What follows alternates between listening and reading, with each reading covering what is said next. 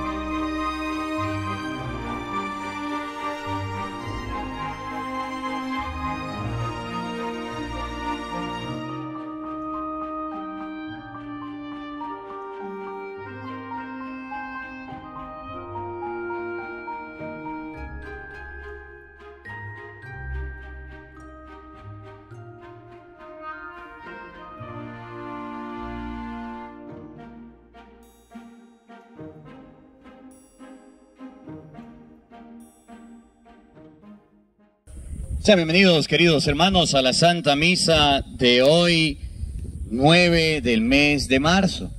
Alabamos y bendecimos a Dios por esta oportunidad. Hoy nos encontramos aquí en esta comunidad que se llama Mamón Mamonal. Desde Santa Rosa hasta aquí son dos horas y medio en carro, es distante la comunidad. Y venimos a esta comunidad con mucho cariño a celebrar la Santa Eucaristía. Esta Santa Misa la vamos a ofrecer por cada una de las intenciones que vamos a nombrar al inicio de ella. Miren, aquí en esta comunidad eh, eh, usted puede observar por el dron cómo es. Es una comunidad de campo. El medio de transporte de las personas es diverso. Vamos a ir conociendo esta comunidad. Aquí cerca de la capilla tenemos la escuela y tenemos el liceo donde los niños y los jóvenes vienen a estudiar y a prepararse. Tenemos eh, la parte, estamos en la cancha, está la cancha deportiva donde hacen deporte los jóvenes, los niños. También tenemos en esta comunidad, en la parte de atrás, un mini teatro donde hacen sus eventos, sus actividades. Y tenemos al lado del mini teatro, tenemos la iglesia o la capilla. Esta capillita es de mamón mamonal y estamos trabajando por pintarla.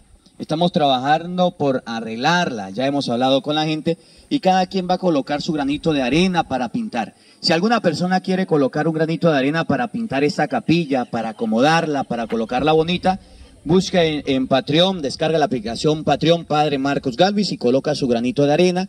O puede descargar la aplicación PayPal y colocar su granito de arena. Ayuda a Padre Marcos Galvis en PayPal para pintar la iglesia.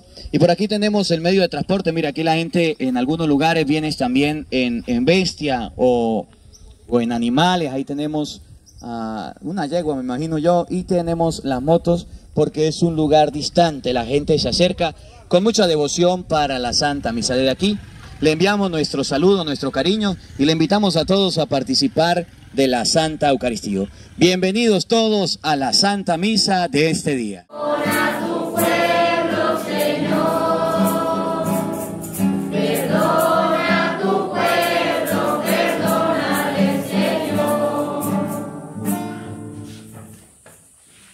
En el nombre del Padre y del Hijo y del Espíritu Santo. El Señor esté con todos ustedes. Queridos hermanos, ofrecemos esta Santa Eucaristía por las benditas ánimas del purgatorio, por el eterno descanso de Ángel Julio, Germán Monsalve, Marcelina Paredes, Damaso Monsalve, Felicita Monsalve, Teodoro Paredes, Johnny Alex Rodríguez, Ramona García, Francisco Rodríguez, Ramón Rodríguez, Antonio Rodríguez, Jesús Rivas, por la salud de Lieder Alejandro, al doctor José Gregorio Hernández. Oramos también en este día por el eterno descanso de Juan Valdivia, Fernando Valdivia, Marco Antonio Valdivia, Benjamín Chávez, Trinidad de la Torre. Juan Varilla, oramos a Dios por el eterno descanso de Jesús Hernández y Emanuel Hernández, Rosa María y por su salud. por la reconciliación del matrimonio de Pablo y de María. Queridos hermanos, para celebrar dignamente estos sagrados misterios, vamos a reconocer ante la presencia de Dios nuestros pecados. Vamos a pedirle perdón a Dios de nuestras culpas, de las mentiras, de las malas palabras. Vamos a pedirle perdón a Dios de nuestras malas acciones. Arrepentidos decimos todos. Yo confieso ante Dios Todopoderoso y ante ustedes, hermanos, que he pecado mucho de pensamiento, palabra, obra y omisión. Por mi culpa, por mi culpa, por mi gran culpa. Por eso ruego a Santa María, siempre Virgen, a los ángeles, a los santos y a ustedes, hermanos, que intercedan por mí ante Dios nuestro Señor. Dios Todopoderoso tenga misericordia de nosotros perdone nuestros pecados y nos lleve a la vida eterna.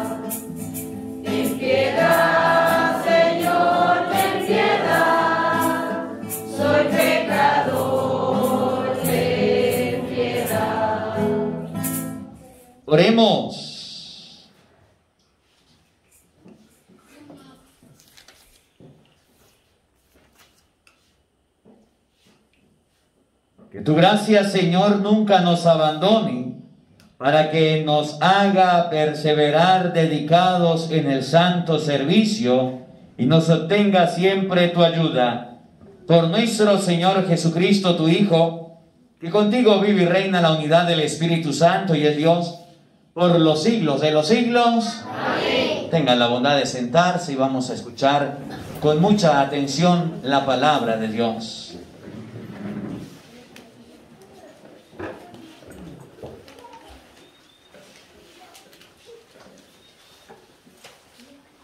Del libro del profeta Daniel. En aquel tiempo Azarías oró al Señor diciendo, Señor, Dios nuestro, no nos abandones nunca. Por el honor de tu nombre, no rompas tu alianza. No apartes de nosotros tu misericordia. Por Abraham, tu amigo. Por Isaac, tu siervo. Por Jacob, tu santo. A quienes prometiste multiplicar su descendencia como las estrellas del cielo y las arenas de la playa. Pero ahora, Señor, nos vemos empequeñecidos frente a los demás pueblos y estamos humillados por toda la tierra a causa de nuestros pecados. Ahora no tenemos príncipe, ni jefe, ni profeta, ni holocausto, ni sacrificio, ni ofrenda, ni incienso, ni lugar donde ofrecerte las primicias y alcanzar tu misericordia. Por eso, acepta nuestro corazón adolorido y nuestro espíritu humillado, como un sacrificio de carneros y toros, como un millar de corderos cebados que ese sea hoy nuestro sacrificio y que sea perfecto en tu presencia, porque los que en ti confían no quedan defraudados. Ahora te seguiremos de todo corazón, te respetamos y queremos encontrarte, no nos dejes defraudados. Trátanos según tu clemencia y tu abundante misericordia. Sálvanos con tus prodigios y da gloria a tu nombre. Palabra de Dios. Te alabamos, Señor.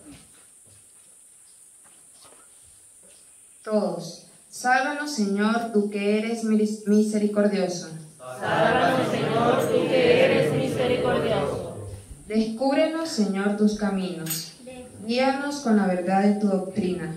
Tú eres nuestro Dios y Salvador, y tenemos en ti nuestra esperanza. Todos, sálvanos, Señor, tú que eres misericordioso.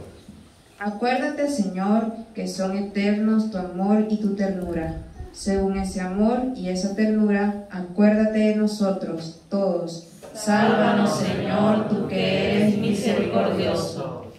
Porque el Señor es recto y bondadoso, indica a los pecadores el sendero, guía por la senda recta a los humildes y descubre a los pobres sus caminos. Todos, sálvanos Señor, tú que eres misericordioso.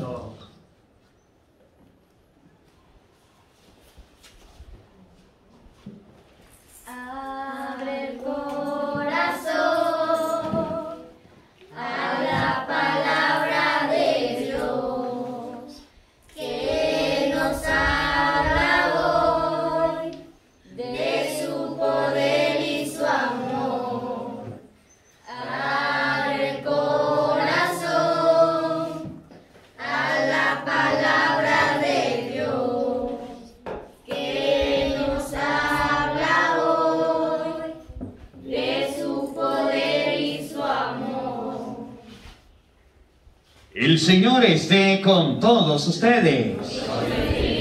hermanos, les anuncio la buena noticia de nuestro Señor Jesucristo, según San Mateo.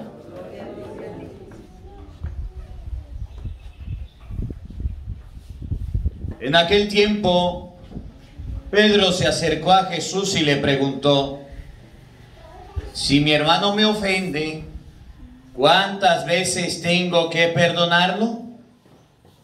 ¿Hasta siete veces? Jesús le contestó, no solo hasta siete veces, sino hasta setenta veces siete.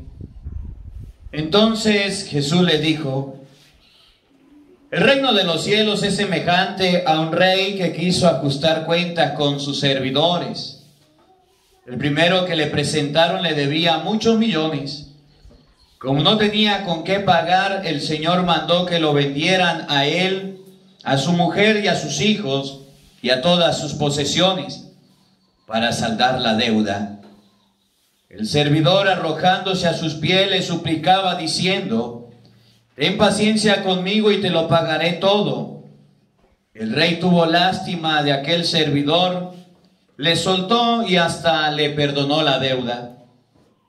Pero apenas había salido aquel servidor, se encontró con uno de sus compañeros que le debía poco dinero.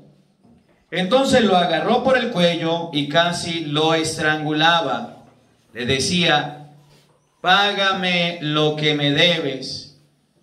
El compañero se le arrodilló y le rogaba, ten paciencia conmigo y te lo pagaré todo.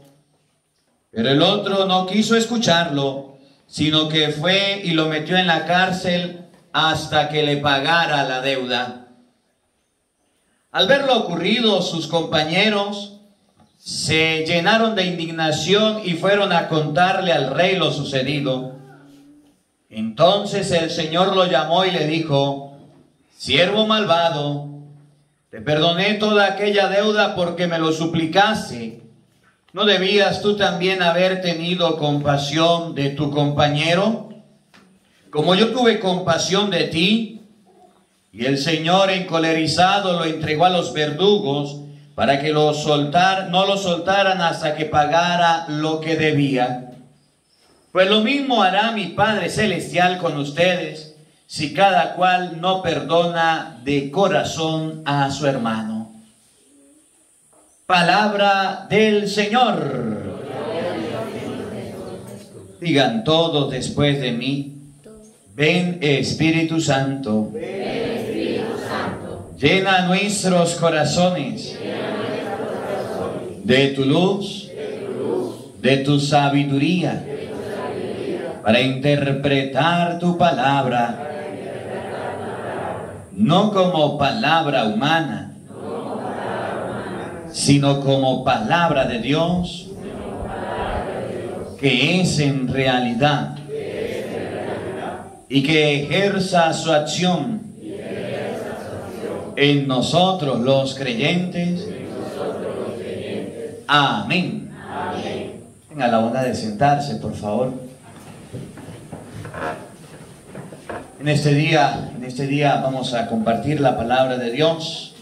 Hoy el Evangelio de San Mateo, capítulo 18, versículo 21 y siguiente. Hoy la palabra de Dios nos va a hablar acerca de el perdón. El perdón. A veces ustedes y yo en la vida, a veces tenemos enemigos o nos conocemos enemigos o agarramos enemigos. Por ejemplo, pensemos en el que me robó la gallina del patio, en el que me robó un becerro, un toro, un cochino, un enemigo, y en Yapa nos dimos cuenta.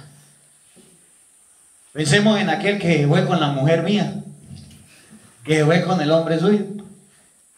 Pensemos en aquel que, que le hizo daño a algún familiar. Pensemos en aquel que nos hizo algo que no nos gustó, un enemigo. Entonces nosotros en la vida nos ganamos enemigos con facilidad. Para ganarse un amigo cuesta mucho, pero para ganarse un enemigo es fácil. Puede ser el vecino que está este, ensuciándome la finca, la parcela, ¿verdad? Puede ser la vecina que se está portando mal, que no puede ver que yo eh, tengo un cultivo porque me sueltan los cochinos y los cochinos vienen y me dañan el cultivo, la cosecha. Pensemos en un enemigo. Y cuando nosotros tenemos un enemigo, a veces no sabemos qué hacer, a veces no sabemos cómo actuar.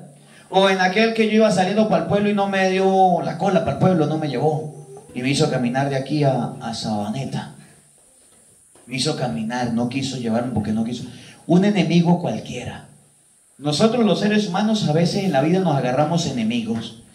Y hoy la palabra de Dios nos enseña que a los enemigos hay que perdonarlos siempre. ¿Hay que perdonarlos? Siempre. ¿Cada cuánto hay que perdonar a los enemigos? Siempre. Eso significa 70 veces 7. Miren cómo lo dice el Evangelio de San Lucas capítulo 18 versículo 21. Y a veces en la familia también agarramos enemigos. El papá se pone enemigo con el hijo, los hijos se ponen enemigos, los padres, los nueros, la suegra, los cuñados se vuelven enemigos. Ahora que tenemos un enemigo, ¿cómo debemos actuar? ¿Cómo debemos hacer? ¿O qué debemos hacer cuando hay un enemigo? Paren la oreja, oído al tambor, escuchen. En aquel tiempo Pedro se acercó a Jesús y le preguntó. Pedro hizo una pregunta. Y esa pregunta es la que ustedes y yo tenemos hoy que debemos respondernos. ¿Qué puedo hacer si a mí me pasa esto? Escuchen. Si mi hermano me ofende. Si mi hermano me roba una gallina, me ofendió. Si mi hermano me roba un maute, me ofendió. Si mi hermana me roba un becerro, un cochino, si mi hermano no respetó el, el lindero y lanzó la cerca por la finca mía, si mi hermano voy y me agarró un plátano, padre, yo tenía tres matas de plátano y estaban produciendo y ya estaba uno bien bueno, que lo iba a traer a usted, pero me lo robaron. Si mi hermano me ofende, si mi hermano hace algo que no está bien, que a mí me ofenda, que a mí me molesta, se fue con la mujer, se me robó al esposo, me robó tal cosa, me ofendió, ¿verdad? Si mi hermano me ofende, escuchen. ¿Cuántas veces tengo que perdonarlo? ¿Cómo? ¿Cuántas veces tengo que perdonarlo? Si mi esposa se puso brava y me sacó los trapos a la calle, si mi esposo se puso bravo y me corrió de la casa, oigan, de nuevo, la pregunta. ¿Cuántas veces tengo que perdonarlo? Si mi hijo llegó borracho, llegó tomado, metió las patas, las de caminar. Oigan, la pregunta. ¿Cuántas veces tengo que perdonarlo? Entonces la palabra de Dios nos hace una pregunta hoy. Si mi hermano, si mi hermana, si mi hijo, mi hija me ofende, oigan la pregunta de nuevo. ¿Cuántas veces tengo que perdonarlo? Esa es la pregunta del millón. ¿Cuántas veces debemos perdonar a una persona que nos haga daño? ¿Cuántas veces debemos perdonar a una persona que nos haga algo que no nos gustó? Según nosotros los seres humanos no lo perdonamos y vivimos con odio y con rencor. Según nosotros los seres humanos no lo perdonamos. Por eso cuando un matrimonio está que se rompe, está que se rompe, debemos hablar del perdón. Decía el Papa, aunque huelen los platos en los matrimonios, en la familia, en la noche debe haber perdón. Aunque hayan dificultades, debe haber perdón. ¿Cuántas veces tengo que perdonarle? Y mire lo que dice Pedro, escuchen. Hasta siete veces.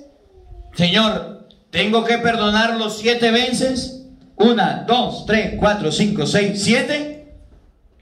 ¿O cuántas veces tengo que perdonar a mi hermano? ¿Cuántas veces tengo que perdonar a mi hermana? ¿Cuántas veces tengo que perdonar a mi familiar? ¿Hasta siete veces? Miren la respuesta. Miren lo que Jesús quiere de nosotros. Miren lo que significa el perdón. Óiganlo. No solo hasta siete. El que piense que solamente debo perdonarle una, dos, tres y hasta siete veces, está pensando solamente como hombre, como persona, porque nosotros los seres humanos vamos a fallar más de siete veces. Y si no, miren los hijos suyos de usted. ¿Cuántas veces usted le dice, haga la tarea, haga la tarea, haga la tarea, y el pelado no hace caso? ¿Cuántas veces usted le dice a su hijo, pórtese bien, pórtese bien, pórtese bien, y el pelado no hace caso? No diga mentira, no diga mentira, no me ofenda, no diga mentira. Y ya lo vi diciendo mentira. No diga grosería, no diga grosería. Y se lo vi diciendo grosería. Más de siete veces. A nosotros nos gusta la papa pelada. Que nos perdonen. Pero cuando nos hacen algo, no lo voy a perdonar. Pare, pero es que fue algo difícil. Fue algo fuerte lo que me hizo, dice Jesús. Tiene que perdonarlo. Como Pedro no, como Jesús. Pedro dice, hasta siete veces. Ahora miren la enseñanza de Jesús, óiganla. Si no, hasta setenta veces siete. 70 veces 7. 70 veces 7 no es que usted agarre y multiplique 70 por 7 o 7 por 70, no. 70 veces 7, miren que el 7 es el número perfecto, el número de la plenitud. 70 veces 7 significa siempre. Me ofendió, llegó borracho mi esposo y me trató mal. Tengo que perdonarlo cada vez que llegue borracho. Pero no aguanto. Tómese una pastilla de aguante porque usted lo escogió borracho.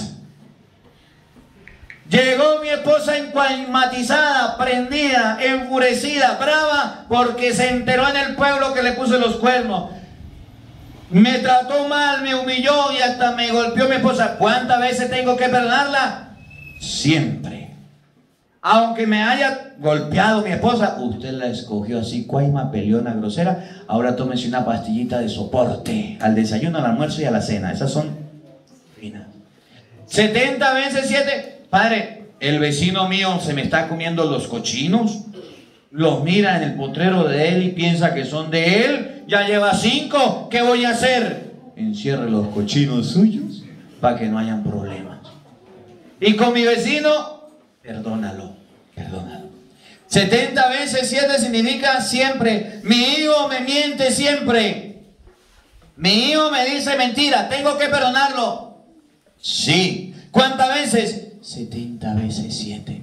Pero es un mentiroso. Pues descúbrale la mentira y ayúdela a no ser mentiroso. Me dice mala palabra, me dice esto, me grita, me trata mal. Tiene que perdonarlo. A veces los hermanos se pelean por herencias. ¿No han escuchado de hermanos que se pelean por herencias? Hay una herencia, se murió papá, mi mamá, quedaron 10, 10, 10 hectáreas de tierra. El que es más vivo agarró 9 y le dejó al otro pobrecito una y están peleados y no están hablados. Tiene que haber perdón. El perdón es importante. Si ustedes y yo pensamos un momentico en qué estamos fallando la Dios es en el perdón.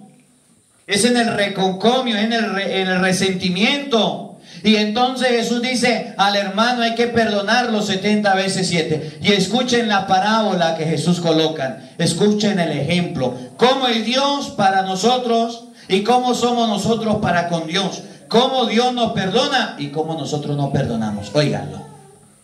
Entonces Jesús le dijo, el reino de los cielos es semejante a un rey que quiso ajustar cuenta con sus servidores. El primero que le presentaron le debía muchos millones. Como no tenían con qué pagar, el Señor mandó que lo vendieran a él a su mujer, a sus hijos y a todas sus posesiones, para salvar la deuda. El servidor, arrojándose a sus pies, le suplicaba diciendo, Ten paciencia conmigo y te lo pagaré todo. El rey tuvo lástima de aquel servidor, lo soltó y hasta le perdonó la deuda. Pero apenas había salido aquel servidor. Miren, ese es Dios. Un hombre le debía a otro hombre muchos millones. No tenía cómo pagarle. El dueño, el jefe dijo, me lo mete preso por ladrón, me robó, no me ha pagado. El hombre tenía mujer, hijos, esposa, y salió corriendo donde el jefe le dijo, perdóname la deuda, perdóname la deuda. Dice la palabra de Dios, lo soltó y le perdonó la deuda. El hombre le pedía poder trabajar para pagar la deuda. No se acordaba de la deuda. Cuando lo metieron preso, acordó la deuda. Y entonces el Señor lo perdonó. Pero a ese Dios para con nosotros. Ahora miren cómo nosotros somos con los hermanos. Que no nos gusta perdonar. Que no perdonamos a nadie. Oiga.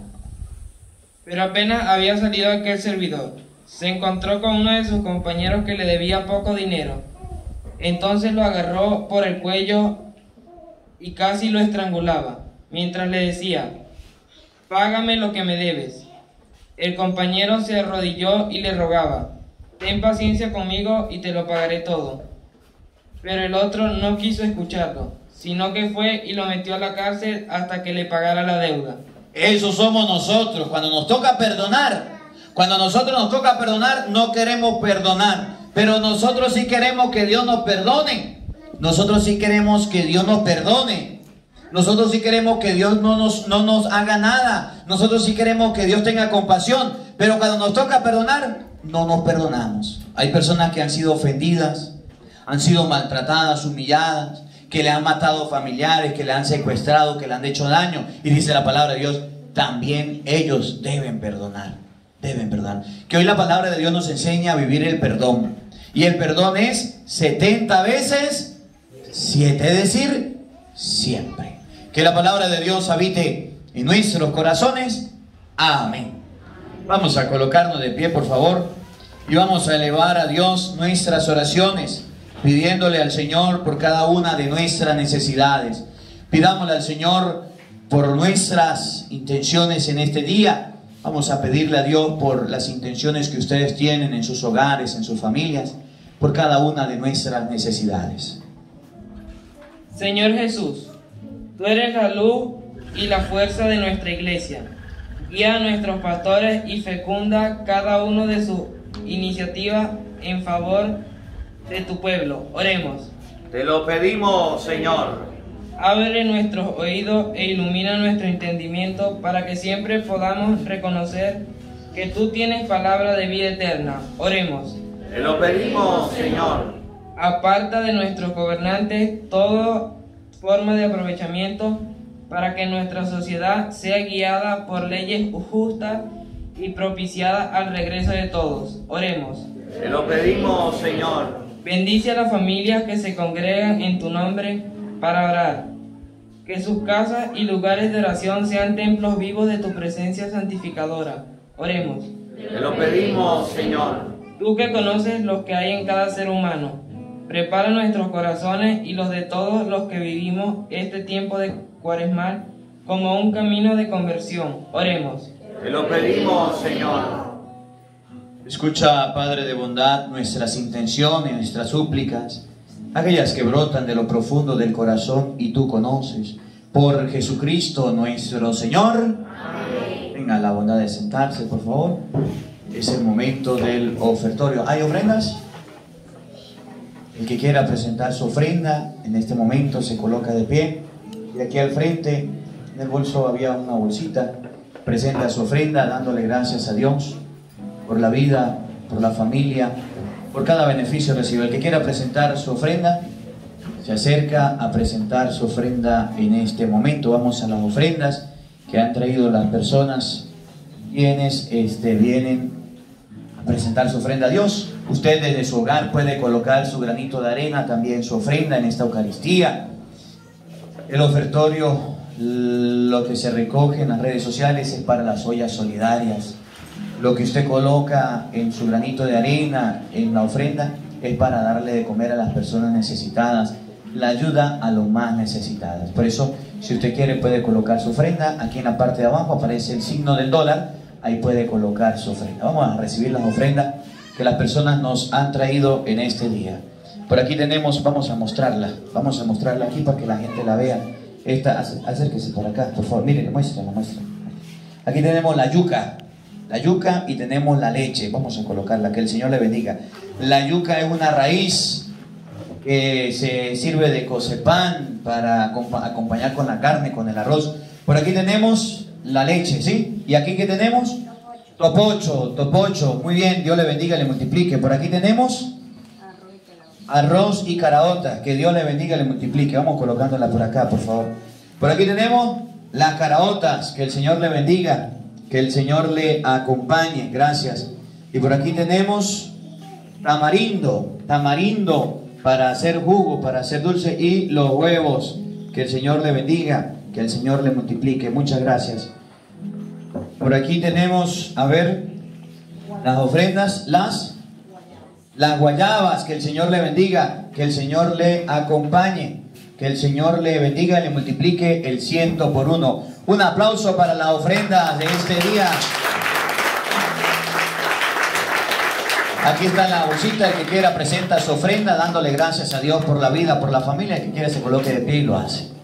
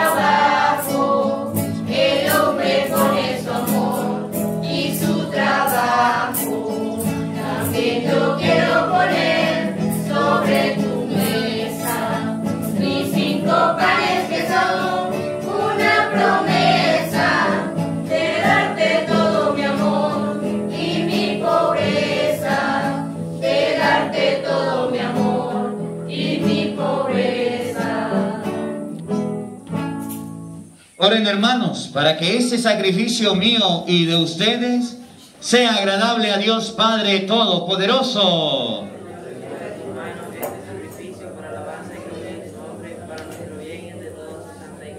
Oremos. Concédenos, Señor, que esta ofrenda de salvación realice la purificación de nuestros pecados y nos traiga tu poderoso auxilio. Por Jesucristo nuestro Señor. Amén. El Señor esté con todos ustedes. Levantemos el corazón. Demos gracias al Señor nuestro Dios. En verdad es justo y necesario nuestro deber y salvación darte gracias siempre y en todo lugar Señor Padre Santo, Dios Todopoderoso y Eterno, porque has querido que nosotros pecadores encontremos en nuestras privaciones voluntarias un motivo de bendecirte, ya que nos ayudan a refrenar nuestras pasiones desordenadas y al darnos ocasión de compartir nuestros bienes con los necesitados, nos hacen imitadores de tu generosidad. Por eso, con la multitud de los ángeles te alabamos a una sola voz diciendo todos.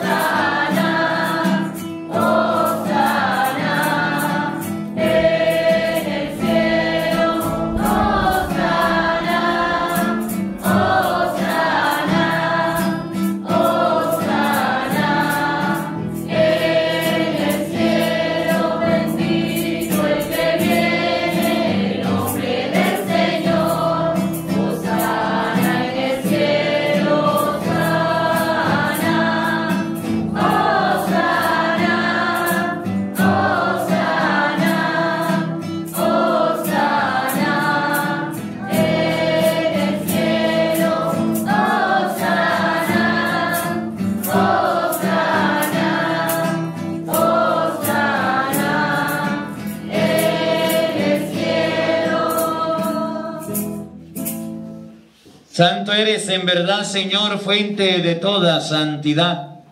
Por eso te pedimos que santifiques estos dones con la efusión de tu Espíritu, de manera que se conviertan para nosotros en el cuerpo y la sangre de Jesucristo nuestro Señor, el cual, cuando iba a ser entregado a su pasión voluntariamente aceptada, tomó pan, dándote gracia, lo partió y lo dio a sus discípulos, diciendo, Tomen y coman todos de él, porque esto es mi cuerpo que será entregado por ustedes. Señor mío y Dios mío, yo creo en ti, Señor, aumenta nuestra fe.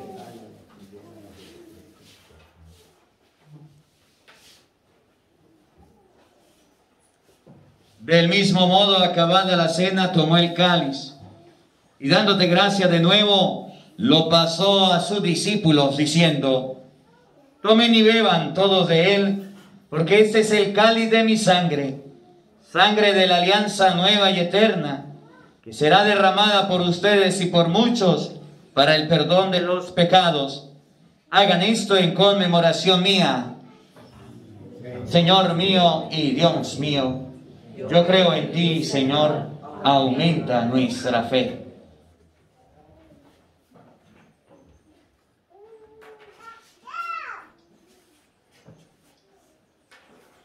Hermanos, ese es el sacramento de nuestra fe. Así pues, Padre, al celebrar ahora el memorial de la muerte y resurrección de tu Hijo, te ofrecemos el pan de vida y el cáliz de salvación. Y te damos gracias porque nos hace digno de servirte en tu presencia. Te pedimos humildemente que el Espíritu Santo congregue la unidad a cuantos participamos del cuerpo y la sangre de Cristo Acuérdate, Señor, de tu iglesia extendida por toda la tierra y con el Papa Francisco, con nuestro obispo Jesús Alfonso y todos los pastores que cuidan de tu pueblo, llévala a su perfección por la caridad.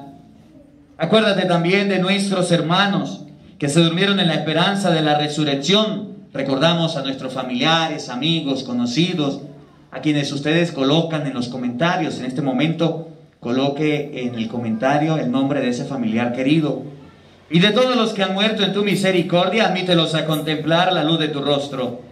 Ten misericordia de todos nosotros, y así como María la Virgen, Madre de Dios, su esposo San José, los apóstoles y cuanto vivieron en tu amistad a través de los tiempos, merezcamos por tu Hijo Jesucristo compartir la vida eterna y cantar tus alabanzas.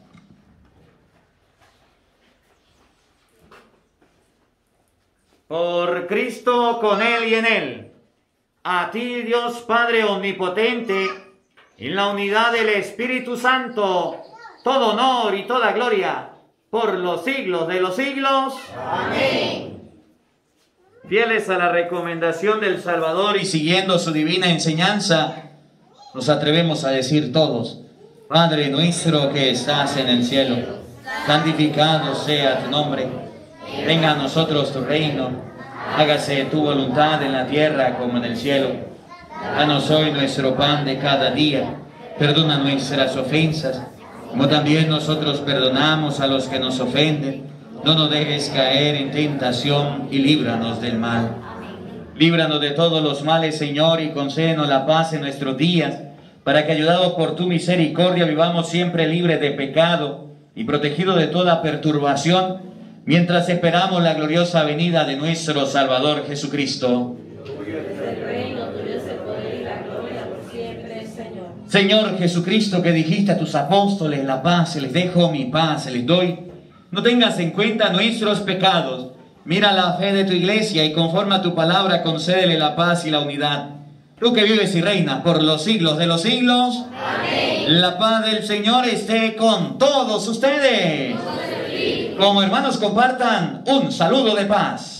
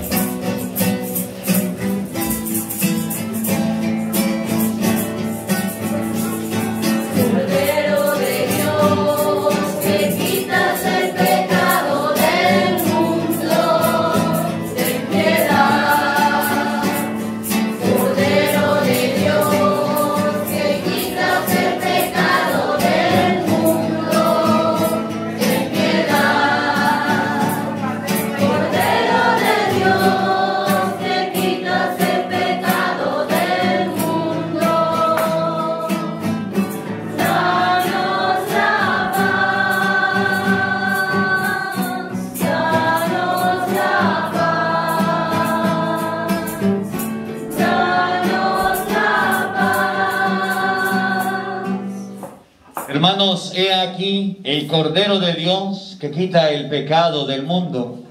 Dichosos ustedes invitados a la cena del Señor. Señor, no soy digno de que entres en mi casa, pero una palabra tuya bastará para sanar. El cuerpo y la sangre de nuestro Señor Jesucristo, guarde y custodie nuestras almas para la vida eterna. Amén. Qué bueno es el Señor. Dichosos los que se acogen.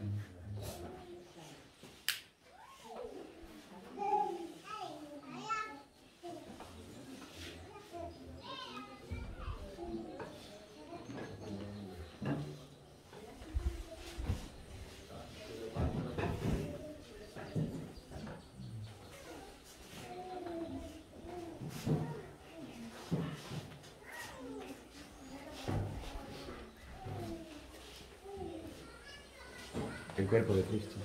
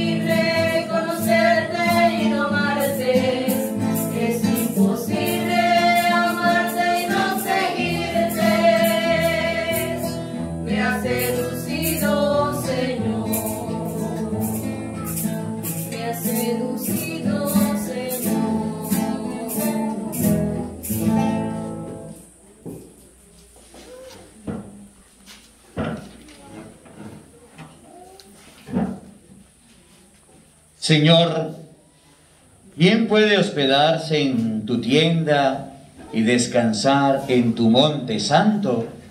El que procede honradamente y practica la justicia. Oremos. Que la santa participación de tu sacramento, Señor, nos renueven y reaviven espiritualmente y al mismo tiempo nos alcancen tu perdón y tu protección. Por Jesucristo nuestro Señor. El Señor esté con todos ustedes. Y la bendición de Dios Todopoderoso, Padre, Hijo y Espíritu Santo, descienda sobre ustedes y les acompañe siempre. A nuestra Madre, a la Virgen María, vamos a decirle todos. Dios te salve María, llena eres de gracia, el Señor está contigo. Bendita tú eres entre todas las mujeres, y bendito es el fruto de tu vientre Jesús. Santa María, Madre de Dios, ruega por nosotros pecadores, ahora y en la hora de nuestra muerte. Amén. Que la alegría del Señor sea nuestra fuerza, podemos continuar en paz. Un feliz día para todos, los quiero mucho, nos vemos en la próxima, Dios mediante. Un saludo cordial a los hermanos quienes nos, nos donan los caramelitos para los niños, vamos a repartirles la comunión dulce.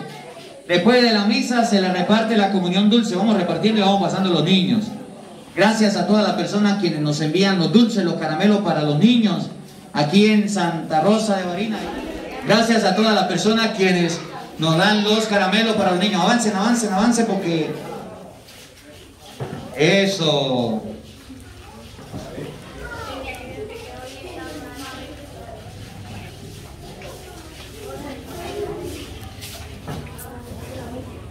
Denle un caramelito a la niña.